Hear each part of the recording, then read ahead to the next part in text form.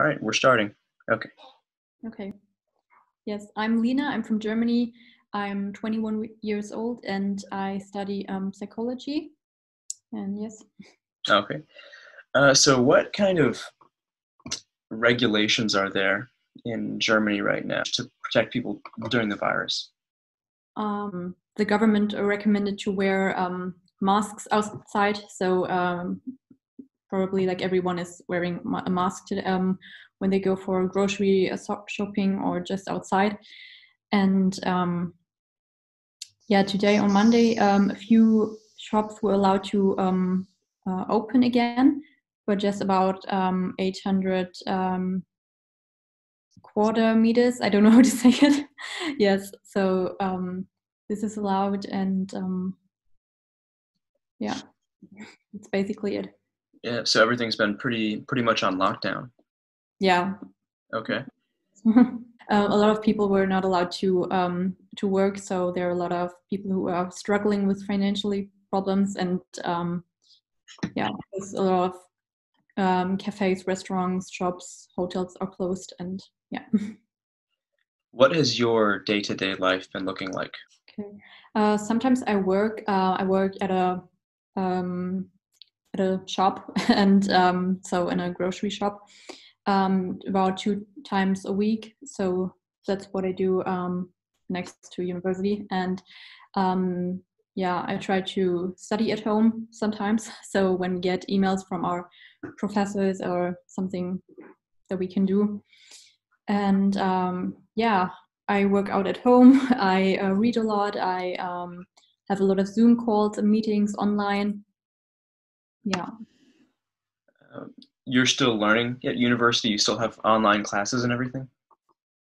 Uh, yeah, sometimes. Yeah. But your education's been fairly interrupted by. Yeah, yeah, I think so. Okay.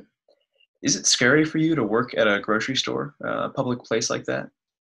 Yeah, it's okay. About um, so the shop where I work is kind of um small, mm-hmm. and um, so that's okay. And most of um um the customers are yeah very friendly and so um yeah it's been okay. Okay. Have there been any significant challenges during this time? Um yeah i think just the isolation itself is a challenge for every one of us. So mm, if you're not allowed to see your uh yeah friends family or grandma grandpa mm-hmm. especially because um yeah now, have there been any any good things about the isolation? Has there been a silver lining? Any blessings that you've experienced? Yeah, I think it's uh, also can also be a chance. So this kind of isolation, um, because people are like forced to slow down and not always being like into work and school. And uh, yeah, I think that's a good thing about it. That people maybe uh, think more about stuff like their the way they they live consumption and stuff like that has your view of of those things changed personally um yeah a bit i think um it's hard to tell um i mean the past year i have been um um, researching a lot about like climate change and the crisis and everything.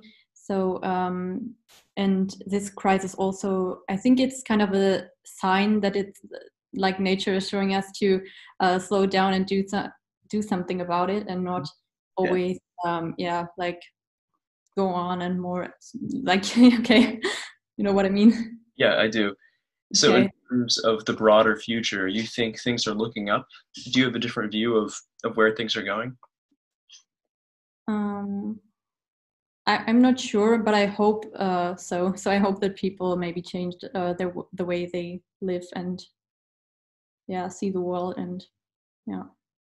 And you think the climate will improve um, because of the outbreak? Mm, yeah, I'm I'm not sure because it's not. I mean, during this time, uh, I mean the um, the carbon emissions are significantly going down, especially like in China. That's like I think a, a quarter less or so um, than normally. So that's um, good, but I mean, we have to change things uh, continually and keep keep it like that. So I'm I'm not sure if people are going to understand that they are they need to change something like um, not only for like two or three months for the lockdown so but for yeah the rest of their lives basically. Yeah. Okay yeah um, have you really worked on improving yourself during these times? Uh, yeah i started filming videos. I'm not sure if you saw it on youtube so that's uh, kind of nice because i always wanted to do that. I always liked like uh, photographing and filming and stuff like that but i never really um, yeah i thought i will I didn't really have the time and I thought what oh what are people gonna think about me or stuff like that but and now I thought okay I'm just at home I'm alone so I'm just gonna do that and uh, yeah that was cool um, if you could say something about your experiences your personal experience to the world um, is there anything that you would say I think I would just say that every like negative thing or crisis happening to us can always turn out to something positive as well. Mm-hmm. Maybe that's it, something I, that I would say. Yeah. Oh, I like that. So, okay, you have a call to action for the rest of the world, for other people in your community, for people across the country. Do you have something that you think that they should do to change their ways? Cool. You say that um, there is a bright future as far as the climate goes, as far as nature goes. Now, what do you have to say? Um, what do you think people should do about those things? What is your call to those people? Mm-hmm. I think that people maybe um, um, have some new good habits they do now. I'm, I, I don't know, maybe people uh, fly less, drive less, and things like that, or um, yeah go more outside be in nature and things like that that's it i think i would say that they should um, keep these habits and um, yeah don't for that i just would i don't know. I, I, would say that they um, should keep these habits and continue doing um, these things they learned during this crisis and to take um, nothing for granted and yeah and what people should do. Well, that sounds great um, thank you for sharing. Okay the echo foundation was created by nobel peace laureate elie wiesel and family therapist stephanie ansaldo to promote justice tolerance and humanity at home and abroad based in charlotte north carolina ECHO enlists notable humanitarians to inspire the next generation of humanitarians through student led initiatives.